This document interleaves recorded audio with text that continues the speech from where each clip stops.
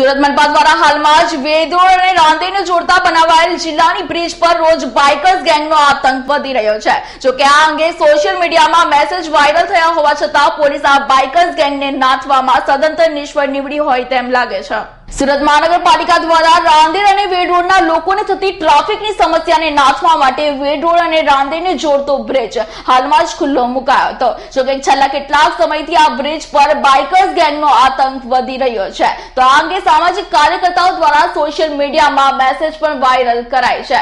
જોકે તેમ છતાં પોલીસની આંખ ઉગડતી નથી. તો બ્રિજ પર જોખમી રીતે ભયજનક સ્ટન્ટ કરતા બાઇકર્સ ગેંગના સભ્યો પોતાની સાથે. ત્યાંથી પસાર થતા રાહદારીઓના જીવ સાથે પણ રમત રમી રહ્યા છે. પરંતુ પોલીસ આવા બાઇકર ગેંગના સભ્યોને પકડી શકતી નથી. ત્યારે આ બાઇકર્સ ગેંગના સ્ટન્ટના કારણે અગાઉ અનેક અકસ્માતના બનાવો બનવા પામ્યા છે. ત્યારે મોટી દુર્ઘટનાની સુરત પોલીસ રાહ જોઈ રહી હોય તેવું લાગી રહ્યું છે. Bureau report Surat.